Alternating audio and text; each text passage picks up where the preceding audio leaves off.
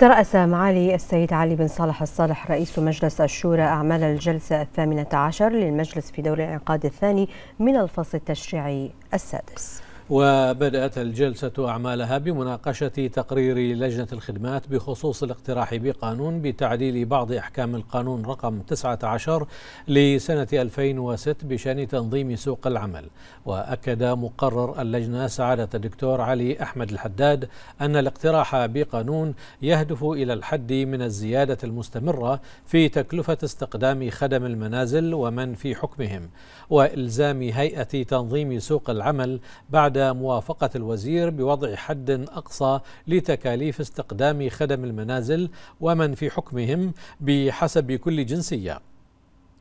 ووضع حظر مطلق على مكاتب توريد خدم المنازل من الحصول على أي مبالغ أو منفعة أو مزية من صاحب العمل تزيد عن الحد الأقصى المحدد من قبل هيئة تنظيم سوق العمل موضحا أن الاقتراح بقانون يتضمن سد فراغ تشريعي بشأن مواجهة مغالاة مكاتب التوظيف في تحديد مبالغ استقدام خدم المنازل ومن في حكمهم والتخفيف عن كاهل المواطن الذي يرغب في استقدام خادم للمنزل.